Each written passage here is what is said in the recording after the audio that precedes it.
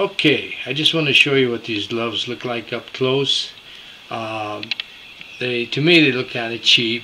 Uh, it's not something I would probably would have grabbed up off the counter if I was in a bike store.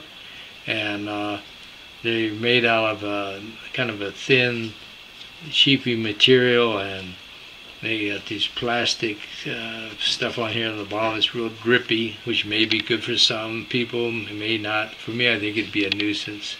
It's just too drippy.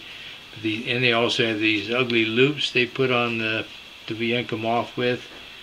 Uh, I'd probably just wind up keeping these gloves and throwing them in my um, uh, bike trunk and keep them as spares in case I lose my leather uh, riding gloves. And I'll probably snip these things off.